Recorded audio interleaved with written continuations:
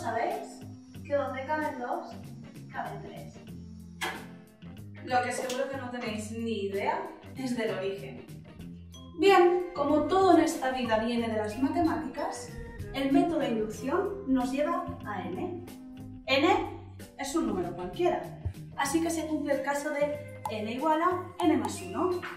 Un poco complicado, ¿verdad? Os lo pondré más fácil con un ejemplo.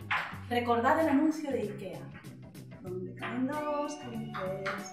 Quiere decir que 2 es igual a 3.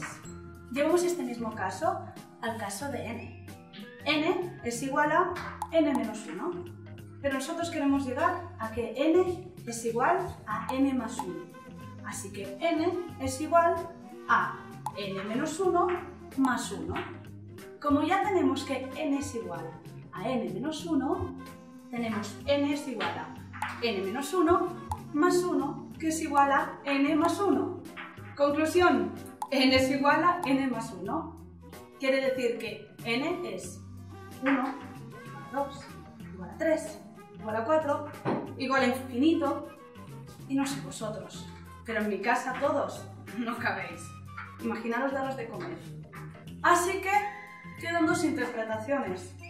O los de IKEA no tienen ni idea de matemáticas, o tienen casas muy grandes.